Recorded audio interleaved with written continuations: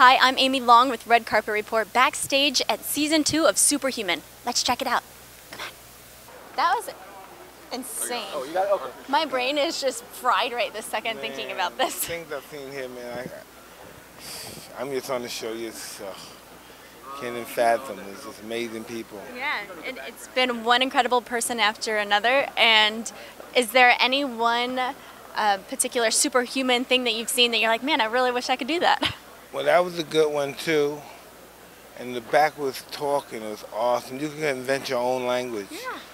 And um, and have it founded too.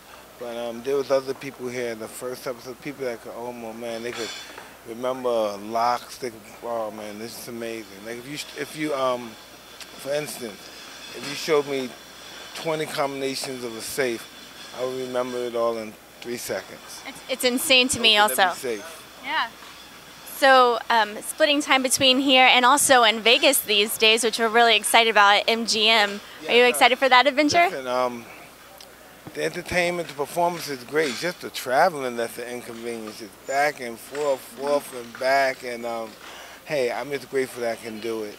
Yeah. I'm very grateful. Hey, and I love your new action figure too. I saw your post of it on your Instagram. Thank you. Yeah.